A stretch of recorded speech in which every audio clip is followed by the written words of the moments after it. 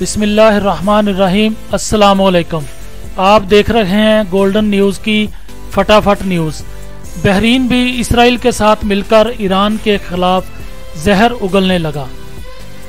तुर्की में आग पर काबू पाने के लिए इसराइली मुआवनत मंजूर कर ली गई।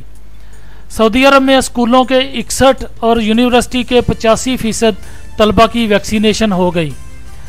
अमेरिका कोविड नाइन्टीन के बढ़ते केसेस के खिलाफ जंग में नाकाम हो रहा है अमरीकी महकमा खारजा। अरकान पार्लियामेंट को वोटिंग मशीन का मुआयना कराने का फैसला कर लिया गया। लॉकडाउन ख़त्म नहीं हुआ, बस पाबंदियों में कुछ नरमी की गई है, कराची एडमिनिस्ट्रेटर। मुहर्रमुल हराम का चाँद देखने के लिए मरकजी रवियत हलाल कमेटी का अजलास आज होगा। कराची समेत सिंध भर में आज से कारोबारी मराकज खुल गए।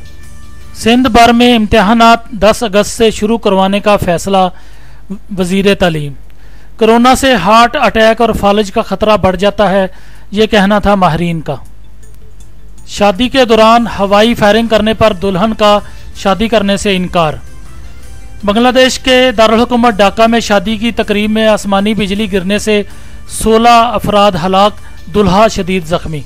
आईफोन का नया सिक्योरिटी फीचर बच्चों के लिए तैयार कर लिया गया। ट्विटर का एसोसिएटेड प्रेस और राइटर्स के साथ माहदा तय आ गया। फालज और अमराज कलब से खबरदार करने वाला अल्ट्रासाउंड स्टीकर तैयार कर लिया गया।